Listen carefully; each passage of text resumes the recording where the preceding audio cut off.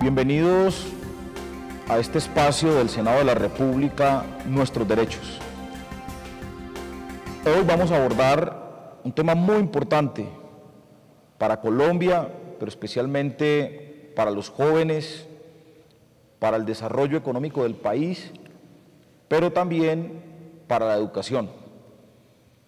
Hoy invitamos a líderes estudiantiles que hoy están adelantando justamente una jornada de movilización, una jornada de reivindicación, pero también están adelantando una propuesta hacia el Gobierno Nacional, hacia el Congreso, para que exista una ley de educación superior que permita no solo el fortalecimiento de la educación superior pública en Colombia, sino que permita también que la calidad en la educación superior en nuestro país conduzca no solamente a mejorar las condiciones eh, sociales, económicas, sino el fortalecimiento profesional e intelectual de nuestros jóvenes y de los colombianos.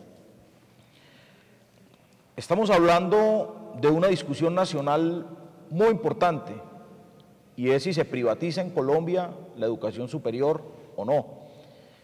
Si acabamos con la educación pública superior como un derecho fundamental que ha sido protegida por nuestra constitución política en el artículo 67, donde establece que la educación es un derecho y un servicio público.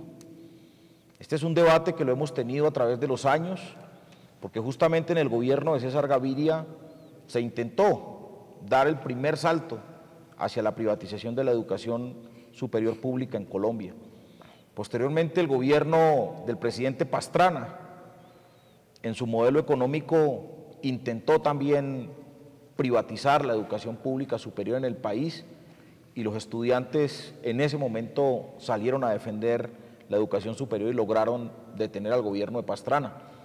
El presidente Álvaro Uribe Vélez intentó también en su proyecto de revolución educativa derrumbar el mandato constitucional que establece que la educación pública superior se debe garantizar a todos los colombianos. Y estamos ahora frente al gobierno del presidente Juan Manuel Santos que insiste con un proyecto de reforma a la ley 30 que es la ley de educación superior en privatizar la educación y en desmontar diríamos nosotros eh, un eje fundamental del Estado colombiano. Así como la educación superior ya han sido víctimas de este feroz modelo de privatización, de este modelo de destrucción de lo público, la salud. Hoy vemos cómo en Colombia la salud en manos de particulares, en manos del sector privado, están generando más de 10 mil muertes al año en Colombia. Y la salud es un derecho fundamental de los colombianos y debe ser prestada por el Estado. Ahí está el mejor ejemplo de cómo estos eh, servicios públicos no deben de estar en manos de, de privados. Lo mismo ocurrió con los servicios públicos domiciliarios, las telecomunicaciones en manos de particulares, la energía en manos de particulares y el agua en manos de particulares. Un modelo, diríamos nosotros, al servicio de los grandes negocios y no al servicio de la ciudadanía.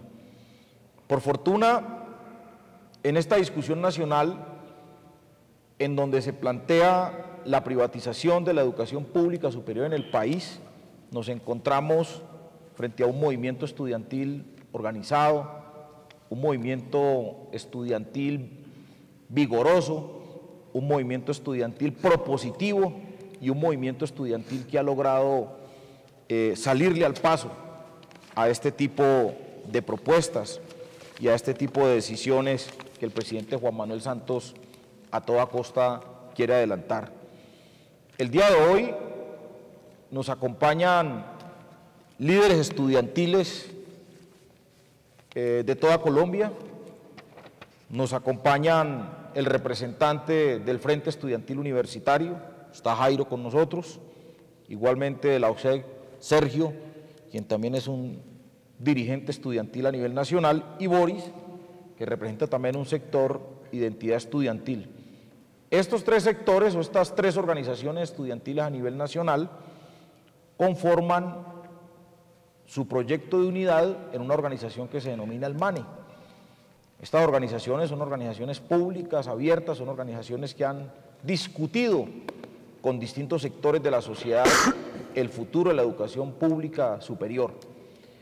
Hoy los hemos invitado para discutir aspectos trascendentales de la reforma a la Ley 30 y entonces vamos a informarle a los colombianos cuál es la posición de los estudiantes, por qué los estudiantes salen a movilizarse, por qué los estudiantes salen a presentar propuestas, por qué los estudiantes convocan al país para que el, pueblo colombiano acompañe esta defensa de la educación pública superior.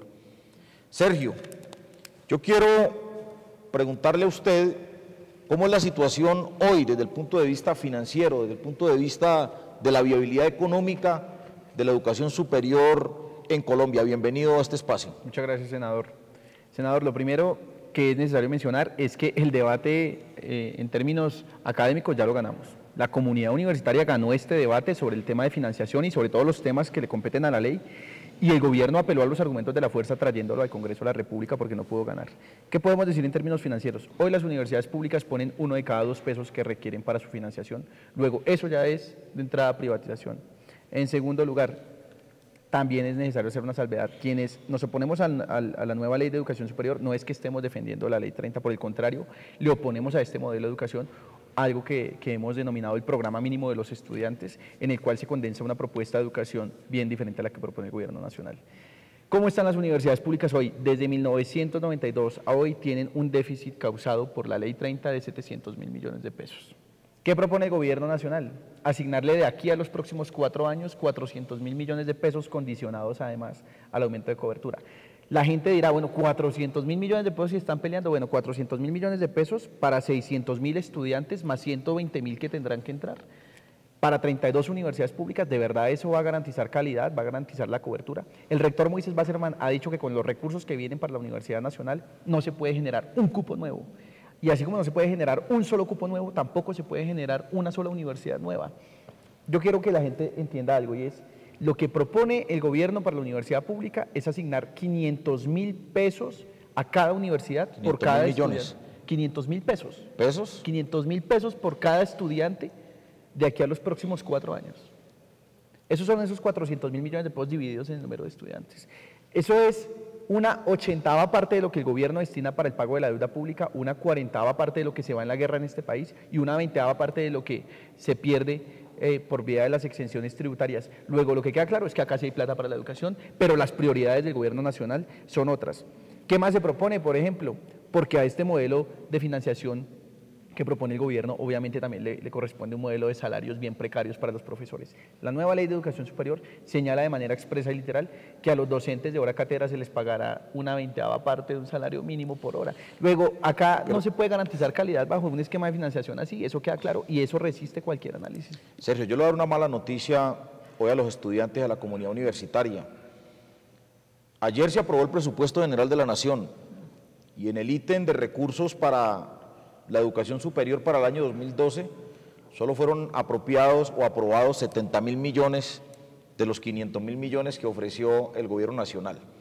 O sea, desde ya el déficit del que usted habla de los 700 mil millones de la educación pública superior, pues se va a mantener porque si apenas hay una, adicional en el presupuesto de 70 mil millones, pues es muy grave y eso significa pues que se va a mantener una situación muy compleja.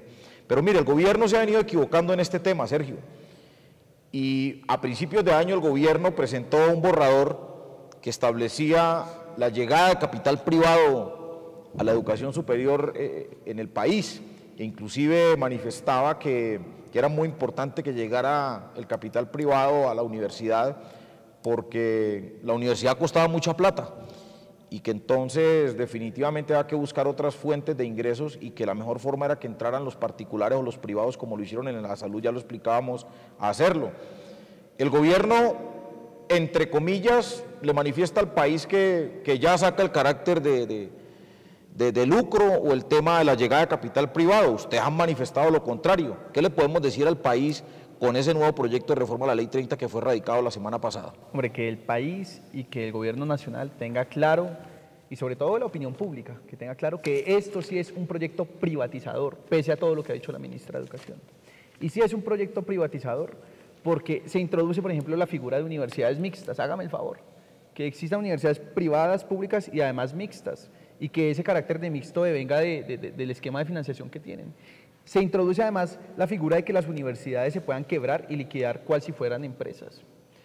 Pero además, la desfinanciación ha conducido a que las universidades hoy ya tengan ese carácter mixto. Yo le, puedo decir una cosa, mire, la Universidad Nacional de Colombia, que es la pública más fuerte del país, pone 50 de cada 100 pesos que necesita para su financiación.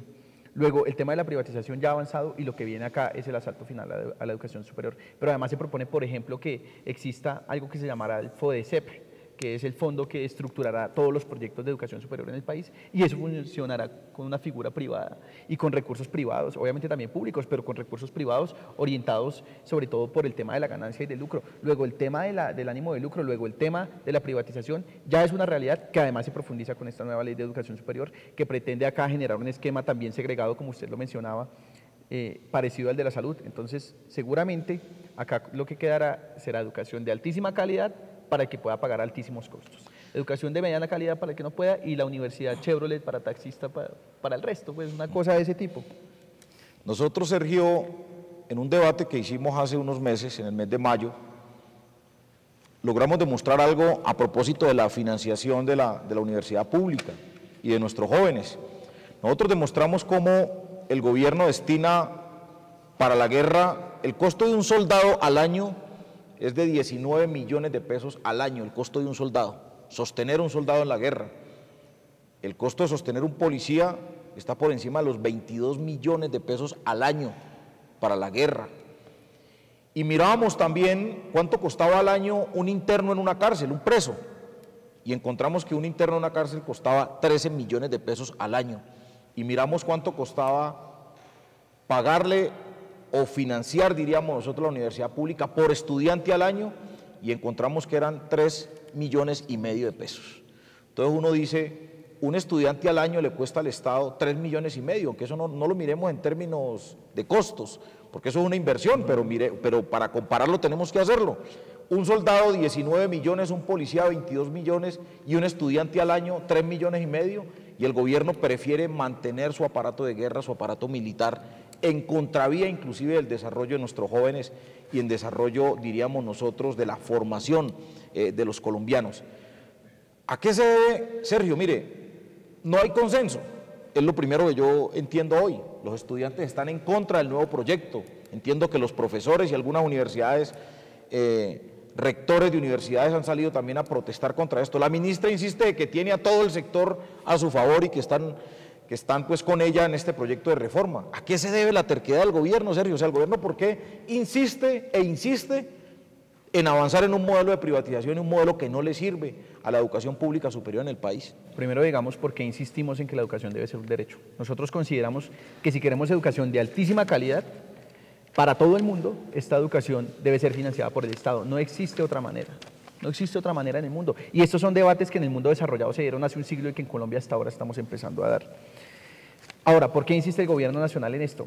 Queda claro que a cada modelo de país le corresponde un modelo de educación y el modelo de desarrollo, el modelo de nación que se está eh, montando en Colombia, que está montando Juan Manuel Santos, es un modelo de cazadores y recolectores, un modelo de desarrollo concentrado en la minería y en la, en la industria, digamos, en la explotación de materias primas con bajo valor agregado. Luego, a ese modelo de educación le corresponde un modelo de país, que es lo que nos están montando. Yo quiero decir una cosa, miren, el Ministerio de Educación sacó este, este panfleto eh, falaz en todo lo que dice. Entonces dice, por ejemplo, no es privatización, ya demostramos acá que la quiebra de la universidad viene y que detrás de la quiebra viene la universidad mixta, la liquidación como si fueran empresas y se puede eh, la, universidad mixta regir por derecho privado, luego sí es privatización, que no tiene nada que ver con el Tratado de Libre Comercio. Yo le quiero decir a la audiencia pública, a, la, a la teleaudiencia, el viceministro de Educación Superior, Javier Botero, y esto lo sabe él, fue el negociador de la educación superior en el Tratado de Libre Comercio con Estados Unidos. Luego que no nos vengan ya con sus mentiras, que no tiene nada que ver con pérdida de autonomía. La autonomía y la democracia van de la mano y acá se desconoce que, que, los cuerpos colegiados de las universidades deben tener participación mayoritaria elegida democráticamente de la comunidad universitaria, que no es mercantilización, que no es aumento de costo de matrícula.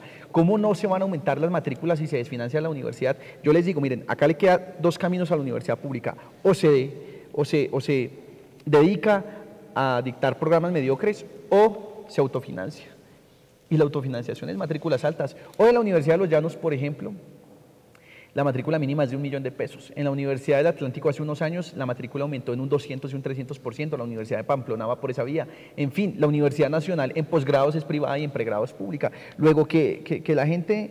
Eh, no crea este tipo de cosas porque la realidad, independientemente de cómo la quiera uno interpretar, es una sola. Y es que esta nueva ley de educación superior sí es privatizadora. Y mientras persista el intento del gobierno nacional de aprobar esta nueva ley de educación superior, persistirá el ánimo de los demócratas colombianos, porque ya no somos solo los estudiantes, ya se han sumado otros sectores. Persistirá el deseo de los demócratas colombianos de con un paro nacional universitario, acompañado de otros sectores, derrotar esta nueva ley de educación superior. Bueno, Sergio, muchas gracias. Vamos a convocar a la ministra a ver si es posible a un debate con ustedes. Voy a proponer desde ya a un debate inclusive transmitido por, por todos los canales institucionales, inclusive mirar si podemos con los canales privados, para que la ministra responda a ustedes estos temas. Eh, pues el gobierno invierte mucho dinero en publicidad como este tipo de publicidad. Eso ha salido hasta en todos los, los periódicos y sale inclusive en cuñas radiales a lo largo y ancho del país que no es privatización y bueno, aquí se está demostrando otra cosa.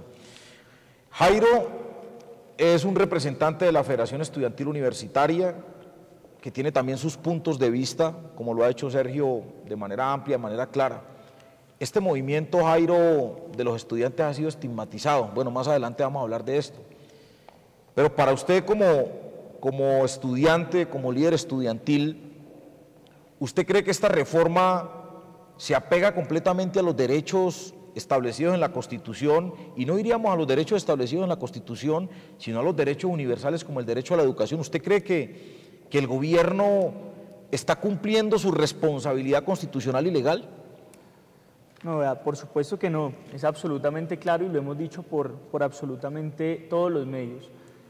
Para mencionarles solo un punto, el artículo 69 de la Constitución Política, que es el de la autonomía universitaria, establece que las universidades, digamos, un poco, la idea de la autonomía es que la universidad sea la conciencia de la nación.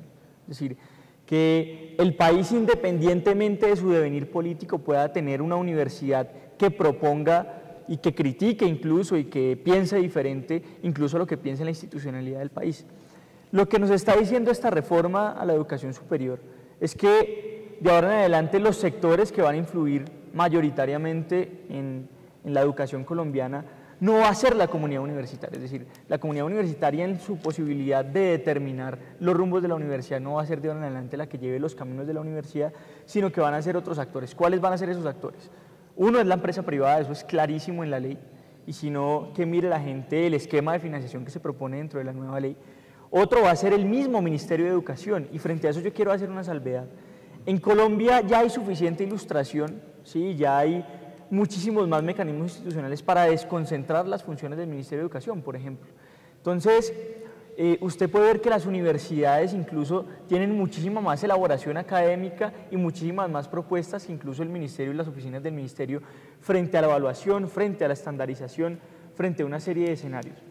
Entonces, em, al no desconcentrar el Ministerio de Educación, sino por el contrario lo que busca con, con esta ley, el Ministerio es darse más atribuciones en términos de vigilancia, de control, y eso le quita autonomía a las universidades. ¿Por qué le quita autonomía? Porque cada vez las universidades van a poder, eh, digamos, con, con, menos potestad, gestar su autonomía, es decir, gestar sus propios rumbos y en ese sentido gestar propuestas alternativas para el país. Entonces, ¿qué vamos a tener? Una universidad condicionada por el gobierno nacional, por la empresa privada y no por la posibilidad de pensarse críticamente el país. ¿Cómo se piensa una universidad críticamente el país? A partir de las comunidades académicas. Eh, lo otro que yo quería decir, un poco haciendo claridad, es que la Mesa Amplia Nacional Estudiantil, la MANE, es eh, digamos, el espacio donde convergen los estudiantes colombianos de educación superior. Todos los estudiantes colombianos, organizados, no organizados, de organizaciones nacionales, regionales y locales. Y en ese sentido tenemos hoy la posibilidad también para demostrar que los estudiantes tenemos una voz, que es un poco lo que se ha querido negar desde hace mucho tiempo. O, nos niegan la voz o nos cambian la voz y nos ponen la voz del vandalismo, del terrorismo, que es lo que se dice por los diferentes medios de comunicación. Y estamos aquí debatiendo, estamos aquí hablando y estamos aquí con los argumentos, pues diciéndole a la sociedad colombiana más que al gobierno nacional, esta ley es impertinente para el presente de la educación en Colombia, pero sobre todo para el futuro del país. Jairo, ¿usted piensa que en ese sentido, primero que todo usted ha dicho que la autonomía es asaltada, inclusive que es un mandato constitucional porque prácticamente quedaría con el control y el poder el gobierno de turno, en este caso el gobierno del presidente Juan Manuel Santos. Pero usted cree que esta reforma definitivamente conduce a algo que nosotros hemos discutido históricamente y es que de cada 100 jóvenes que terminan su secundaria, 100 jóvenes que, o sea, esto es un promedio, pues diríamos nosotros una medida, de cada 100 jóvenes que terminan secundaria, solo 15 están yendo a la universidad y de los 15 que van a la universidad, apenas terminan su carrera universitaria 6. ¿Usted cree que esta reforma puede ampliar la cobertura? ¿Usted cree que esta reforma va a mejorar la calidad de la educación? O sea, porque si una reforma sin plata es muy complicado. La ministra ha dicho, vamos a meter 500 mil millones y vimos en el presupuesto esta semana que solo 70 mil millones, 70 mil millones no alcanzan ni de a 100 mil pesos al año por estudiante, o sea, en, los cálculos que estamos haciendo cuando vimos que un estudiante cuesta 3 millones y medio al año. Entonces, ¿usted cree que con esto vamos a lograr que, que todos esos jóvenes que salen de secundaria y quieran ir a la universidad pública puedan llegar y va a mejorar la calidad con esta reforma? ¿Usted, usted, ¿Ustedes qué están pensando de eso, Jairo? Yo le quiero comentar ahí tres cosas que han, han tenido mucha fuerza en el debate público. El debate del acceso, el debate de la cobertura y el debate de la autonomía. Tres cosas que están directamente ligadas. La autonomía es la semilla y es el sustrato esencial de la universidad. Y en ese sentido, fíjese una cuestión bien importante, y yo invito a la gente a que lea el articulado, como lo ha invitado la ministra también, yo les invito a que lean el articulado. Eh, lo que no se ve, lo que no se ve en, esta reforma, por ejemplo, es eh, el tema de, eh, lo que no se ve en esta reforma, por ejemplo, es el tema de aumentar de aumentar cobertura por medio de creación de nuevas universidades públicas. ¿sí? No hay creación de nuevas universidades públicas. Yo invito a que la gente lea el articulado.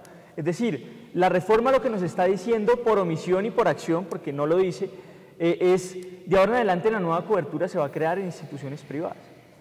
Primer elemento. Segundo elemento de importancia.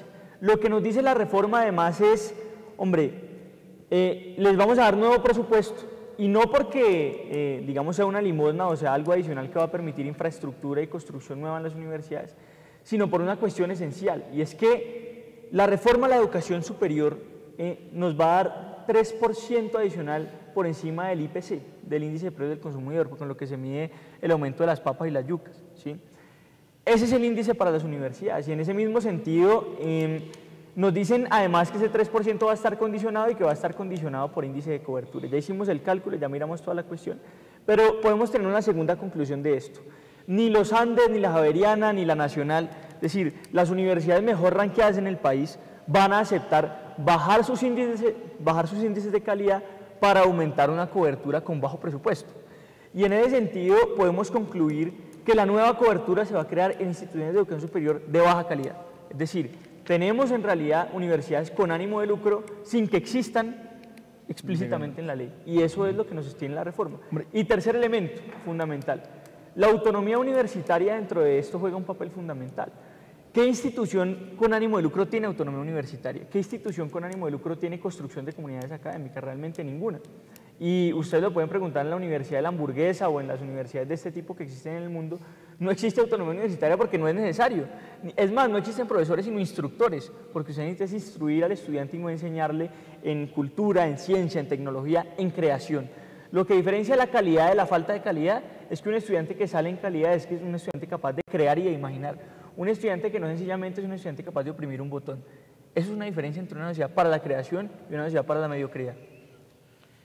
Bueno, yo creo que el país va, va conociendo posiciones. Es muy importante que los colombianos conozcamos la posición de los estudiantes.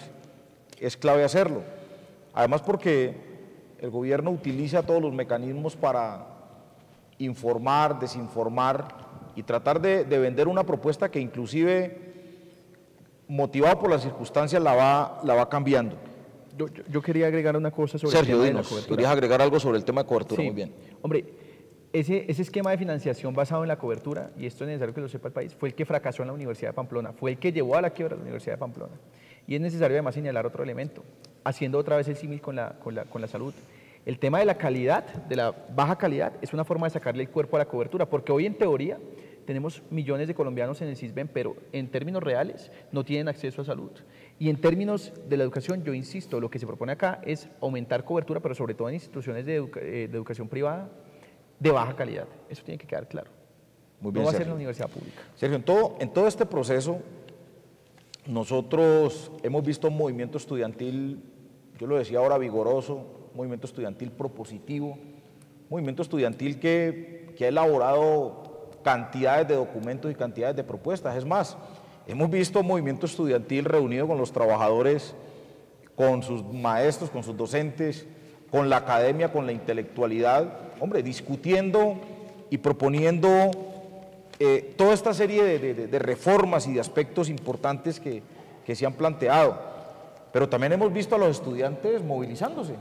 Yo creo que los estudiantes hoy reivindican el derecho a la movilización pacífica, a la protesta pacífica, reivindican inclusive ese derecho que tenemos los colombianos y que, que tienen todos los ciudadanos del mundo de protestar cuando no son escuchados y cuando definitivamente no están de acuerdo con decisiones como la que hoy se discute en el país.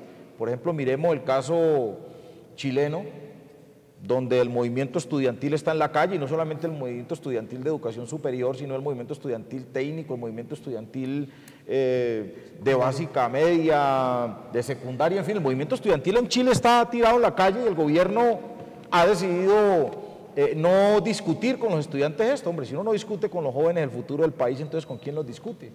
O sea, eh, eso es un absurdo. Ustedes están adelantando, Boris, agradecerle la, posibilidad de que usted esté acá.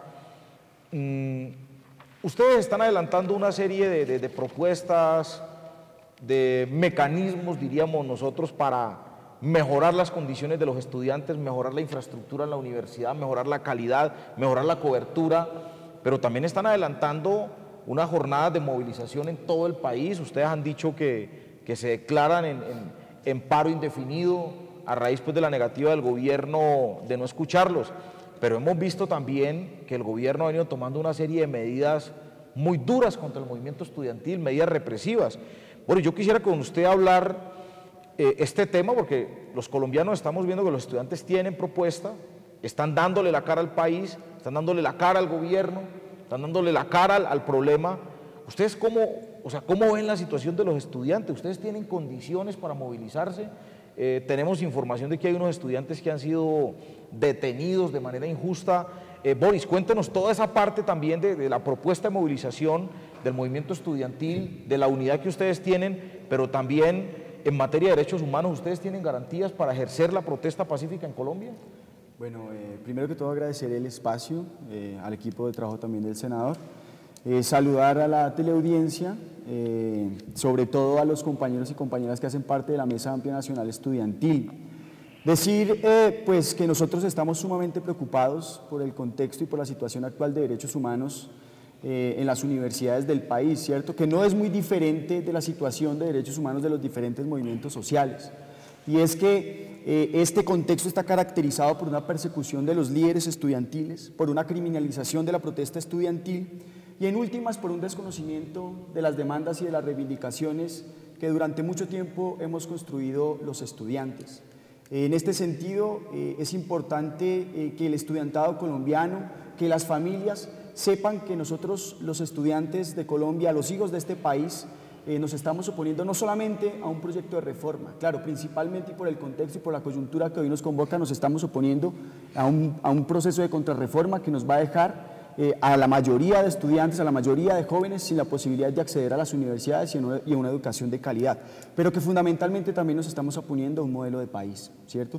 Y estamos, eh, insisto, muy preocupados de la situación, sobre todo por eh, la innumerable cantidad de ocasiones en que el gobierno nacional y diferentes funcionarios pues, han salido a criminalizar la protesta estudiantil, han salido a señalar al movimiento estudiantil, a los líderes, y bueno, la situación es complicada, es grave en este sentido. Tengo información de que hay tres estudiantes, tres dirigentes estudiantiles, bueno, no, no, no estudia, o sea, son estudiantes, pero son tres dirigentes del Movimiento Nacional Estudiantil detenido? O sea, ¿cuáles son los cargos y qué ha pasado con ellos? Bueno, eh, en general sobre la comunidad académica eh, se han cernido amenazas, ¿cierto? Y una serie de persecuciones. El caso particular de los tres estudiantes. Eh, hay uno que se llama eh, Jorge Eliezer Gaitán de la Universidad Surcolombiana, está el compañero Camilo Escudero y Omar Marín de la Universidad de la Amazonía que se encuentran en este momento retenidos en la cárcel eh, modelo, ¿cierto? El cargo es, o los cargos que se les han imputado, porque ya algunos no los han podido probar en este momento, son los de rebelión. Decir que estos estudiantes, estos compañeros han sido detenidos y capturados en circunstancias bastante extrañas, ¿cierto? y que eh, exigimos la liberación inmediata de estos eh, compañeros. Decir que allí, en última, lo que se está penalizando y criminalizando es el pensamiento diferente, ¿cierto? La posibilidad de pensar que este país eh, puede ofrecernos a los ciudadanos posibilidades de vivir dignamente, ¿cierto? Y pues insistir en que exigimos la liberación inmediata de estos compañeros, ¿cierto? Y que sobre el movimiento estudiantil y la comunidad académica eh, digamos, eh, eh, se, digamos, no se ciernan como más amenazas y, se respete. Miremos lo que pasó, por ejemplo, con el profesor Miguel Ángel Beltrán, que estuvo en un proceso hace algún tiempo y finalmente pues, no se le pudo probar nada en su contra. Y realmente lo que hay es una persecución del pensamiento diferente de la propuesta alternativa. Boris, hace, hace tres semanas ustedes adelantaron en todo el país una movilización nacional yo jamás, yo estaba en el mundo, en el mundo social y, he estado naturalmente con las organizaciones sociales, pero nunca en mi vida, yo estaba ese día en Bogotá, yo nunca en mi vida he visto una movilización tan grande como la que hicieron los estudiantes junto a profesores hace tres, cuatro semanas básicamente. ¿Qué busca el movimiento estudiantil cuando, cuando sale a movilizarse? Por ejemplo, tienen convocada esta semana y bueno, y en todos estos días movilizaciones por toda Colombia. ¿Qué busca el movimiento estudiantil cuando decide salir a las calles a asaltar, cuando deciden salir a gritar, a bailar, cuando deciden salir a expresarse? ¿Qué busca el movimiento estudiantil con, con esas movilizaciones y con esas marchas pacíficas tan grandes que han venido haciendo en los últimos días? Bueno, pues en primer lugar que eh, se reconozca nuestras demandas, ¿cierto? Que se reconozca que el país entero entienda que hoy en el país hay una problemática que es necesario que abordemos todos y todas, que todos la discutamos para encontrarle salidas y para encontrarle alternativas. Hoy el problema no es de la protesta social, no es de la protesta estudiantil, el problema es de una reforma que está eh, vulnerando el derecho a la educación de todas y todos los colombianos. Con estas movilizaciones eh, cargadas de diferentes expresiones culturales, eh, académicas y políticas, queremos decirle a Colombia y queremos decirle al gobierno nacional, uno, que no estamos de acuerdo con el proyecto de reforma que está haciendo trámite en este momento en el Congreso. Dos, que eh, exigimos eh, que se abran los escenarios para la construcción democrática de una alternativa de educación para el país. y tres, eh, que los estudiantes eh, tenemos, que los estudiantes salimos a protestar fundamentalmente porque no encontramos otros escenarios en los cuales nuestras demandas y nuestras propuestas sean escuchadas y que más que protestar nosotros los estudiantes también tenemos propuesta. Sobre esa base nosotros, y quería profundizar una, en, una, en una aclaración que hacía mi compañero Ritica, hemos iniciado un proceso organizativo y también político que hemos denominado Mesa Amplia Nacional Estudiantil, eh, en la cual eh, todos los estudiantes colombianos eh, tenemos la posibilidad de participar y construir. Allí hemos definido unos objetivos de la movilización y unos objetivos de este proceso, que es, bueno, hundir primero que todo este proceso de contrarreforma. Ya aquí mis compañeros han explicado las razones por las cuales es necesario que este proyecto no pase en el Congreso, no sea aprobado. estamos exigiendo también desde este escenario organizativo y político la construcción democrática, y participativa de una reforma, de una alternativa de educación para el país. Y en últimas, estamos fortaleciendo el movimiento estudiantil. Hay que decir que este movimiento estudiantil, eh, seguramente a diferencia de muchos años, es un movimiento en el que estamos estudiantes de universidades tanto públicas como privadas. También eh, estamos encontrándonos eh, con madres y padres de familia y caminando de la mano en esta, en esta lucha con trabajadores y con los profesores. Bueno, Boris, muchas gracias. Yo, hay, que, hay que decir ahí, Boris, esto. Y, lo que hemos visto es que no hay consenso. O sea, el gobierno nacional, si bien es cierto, hizo muchas reuniones con muchos sectores, eso no significa que haya consenso. Y lo están demostrando ustedes hoy aquí. Eh, Sergio, muy rápido porque pues, el tiempo se nos va. ¿Usted qué quiere decirle al país en medio de esta discusión, en medio de las movilizaciones, en medio de las propuestas de los estudiantes? Díganle a los colombianos qué quieren los estudiantes con esta reforma y qué buscan ustedes, eh, eh, o sea, qué le piden al Congreso, qué le piden al gobierno en medio de este debate que ya se inicia. Hombre, decirle al país que el futuro de este país no podrá ser mejor que el presente de su, de su educación. Que esta pelea por la educación como derecho es una pelea que debe dar todo el país, todo el país que la educación y la universidad pública no solo es de los estudiantes, sino sobre todo de quienes aún no han llegado y que la pelea que hoy damos los estudiantes es para que ellos puedan acceder. Luego ese falso dilema entre unos que quieren estudiar y otros que no, no existe. Todos queremos estudiar y por eso entramos a paro nacional universitario y vamos a hacer un paro con ríos de gente en las calles, pero ríos como el Sinú, el Amazonas y el Magdalena, que son ríos que moldean la forma de la tierra y nosotros vamos a moldear la forma de la política en este país. Bueno, muchas gracias Sergio por la asistencia el día de esta invitación. Jairo, quiero que usted también le diga a los colombianos, a los estudiantes, qué mensaje le envía al Congreso y al Gobierno Nacional en medio de este debate. Lo primero es que mencionar una cuestión muy importante y es que un país que no escucha a los jóvenes corre el riesgo de quedarse sin futuro. Yo creo que es el riesgo que está corriendo el Gobierno Nacional en este momento y creo que es un mensaje bastante claro. Lo segundo es que lo que nosotros le queremos decir a la sociedad colombiana es que este no es un problema solo de las universidades, del SENA, de las instituciones de educación superior, es un problema del futuro del país en general. Es la posibilidad de que el campesino, de que el indígena, de que el obrero, de que el ama de casa, de que todos puedan acceder a la educación superior de calidad y que tengamos un país para la equidad y el respeto y no un país para la mediocridad y la ignorancia, que es lo que se nos está proponiendo de fondo si la gente mira las implicaciones que tiene una educación sin sentido de lo público y sin sentido crítico y propositivo. Es el debate entre una educación para la creación y la inteligencia y una educación para la mediocridad. Y asimismo terminará siendo el país porque la educación es el sustrato esencial de la cultura. Entonces, queremos invitar a todo el mundo a que se movilice, a que se mueva junto a nosotros, a que, digamos, también vaya junto a esos ríos de gente que mencionaba Sergio, pero esencialmente que continúe, digamos, pensándose una educación para la sociedad colombiana. Los invitamos a que vayan a las universidades, a que conozcan, a que no nos estigmaticen, a que salgamos a marchar, a que salgamos a proponer y a que salgamos a transformar. Es la oportunidad de ser un país y de hacer que la democracia esté en las calles y no solo en el recinto del Congreso. Bueno, Boris, eh, Boris representa identidad estudiantil. Boris, ¿usted qué quiere decirle a los colombianos, a los jóvenes? ¿Qué quiere decirle a, los padres de familia y al gobierno y al Congreso, naturalmente? Un mensaje, Boris. Eh, bueno, eh, que atendamos al ejemplo que las diferentes sociedades alrededor del mundo nos están dando. Los jóvenes de este sistema mundo capitalista tan injusto estamos saliendo a las calles a rechazar precisamente esa única opción que nos ha dejado este sistema. Decir que en este país, en lo que va corrido del año, eh, ya van más de 1.500 y pico movilizaciones, y decir que si en el resto del mundo se están dando, ¿por qué nos va a extrañar que aquí en nuestro país también se den esas movilizaciones precisamente rechazando la injusticia y la pérdida de derechos?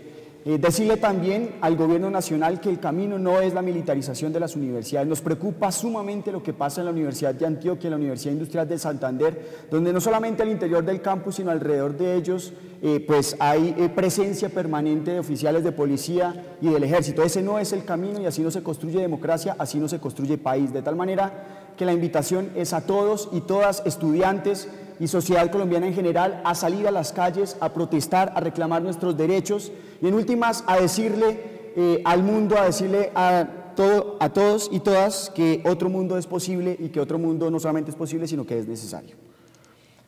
Bueno, esta es la posición de los estudiantes colombianos.